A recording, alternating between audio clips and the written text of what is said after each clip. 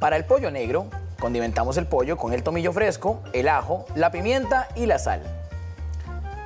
Pasamos las piezas de pollo por harina y las golpeamos un poco para retirar el exceso. Colocamos inmediatamente a la parrilla para que se doren por ambos lados. En un sartén derretimos la margarina y agregamos la cebolla y el ajo. Incorporamos el azúcar y sofreímos un poco la cebolla para que se caramelice. Una vez caramelizada, incorporamos el pollo dorado y revolvemos un poco. Colocamos sal gruesa en los muslos y después condimentamos con pimienta. Bañamos con la cerveza oscura y dejamos que reduzca.